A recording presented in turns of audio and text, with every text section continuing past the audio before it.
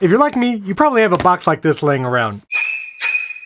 It has a bunch of cables, it's got USB-C and Thunderbolt, micro USB, and some old cables you don't even know what to do with anymore. But you're probably afraid to throw them out like I am, because what if you need that one cable? Well, in this video, I'm going to explain the differences between some of these USB cables and maybe some that you could recycle or at least no longer have in your home. The reason why now is a good time to look through your cables, it was just announced that the iPhone will actually be moving to USB-C instead of the lightning port that it's had for the last 10 years. The European Union actually passed a law that mobile phones sold by 2024 and on need to have a USB-C port if they're going to have a physical charging port. And because the iPhone is sold in Europe, they're going to have to comply by 2024.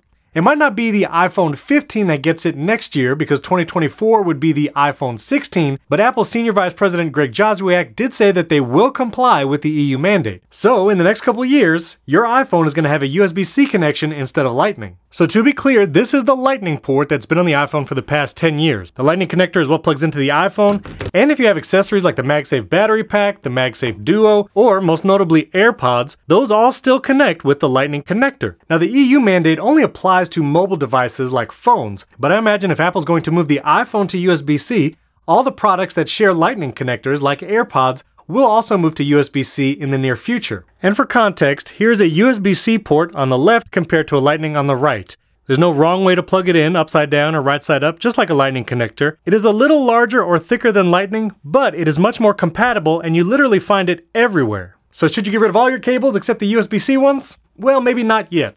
Let's look at some of the older USB type cables because you might still have some devices that use those old style connectors. Now you might still have some USB-A connectors around. These are the connectors where they never go in right the first time it seems. You try it, you try it again, still doesn't work, and then you try it a third time and somehow, now it works.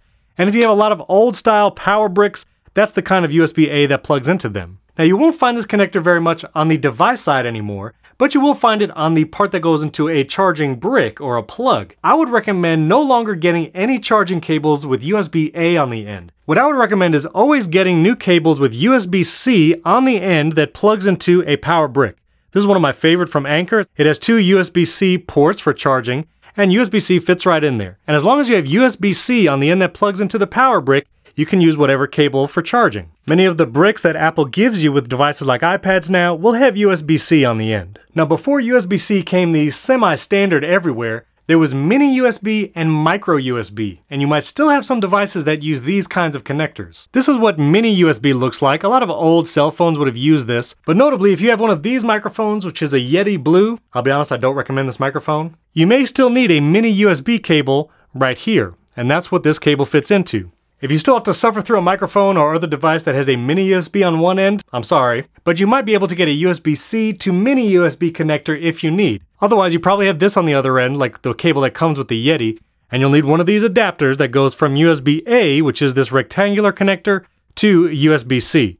I'll put a link to these little adapters. You can get two for about $10, and they can come in handy if you still have some of these USB-A connectors lying around. Now, you might also have some micro USB devices as well. This is what a micro USB cable looks like. It's even smaller than mini USB and is probably the most annoying USB connector known to man. Because it's so tiny, it almost looks like it's reversible, meaning you can plug it in both ways, but it is not. It has to go in exactly right for it to work. There are still some very popular devices that use this micro USB connector. The Shure MV7 USB microphone, very popular. They do not make one with USB-C connection. But again, you can get cables like this on Amazon that are micro USB on one side and USB-C on another. This way it's easy to plug into a modern computer and you still get to use that micro USB device without some adapter. So as a rule of thumb, you still need some of your USB-C to lightning cables to charge your devices, but if you're gonna buy any kind of power brick or new cables for your devices, I suggest getting USB-C to lightning if you need something for your phone or AirPods, or USB-C to USB-C. And I have to tell you, they are not a sponsor, but Anker makes some of the nicest USB-C to USB-C cables,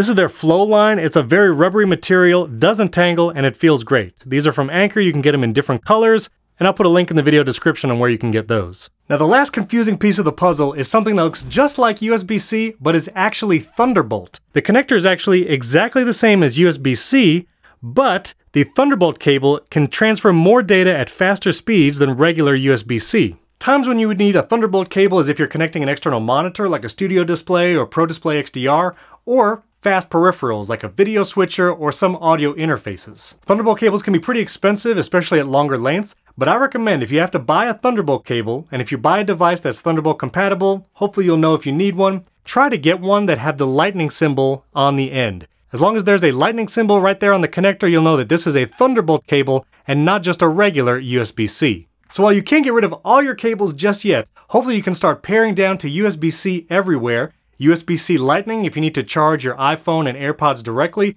or USB-C on both ends for most other devices. The base model iPad is USB-C now, as well as iPad mini, Air, and iPad Pro, and if you have an Android device, you probably have USB-C already as well. If you have any questions on USB cables, leave a comment below this video, I'd love to answer you there, and subscribe to the Bearded Teacher channel, we have lots of iPhone tips, iPad tips, and more, especially in the shorts. Thanks for tuning in, I'll catch you next time.